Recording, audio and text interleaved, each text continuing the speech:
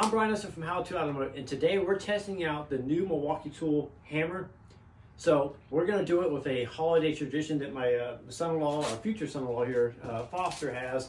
So explain this what, what your uh, yeah. So uh, every year we build a gingerbread house and then destroy it in an extravagant way. So this year we're going to try it out with the hammer. So yeah, take away. Here we go. oh, oh my god. Oh my god.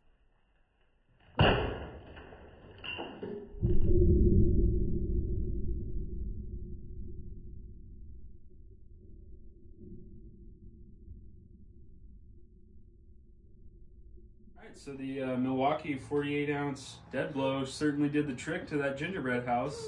As you can see, it's completely destroyed.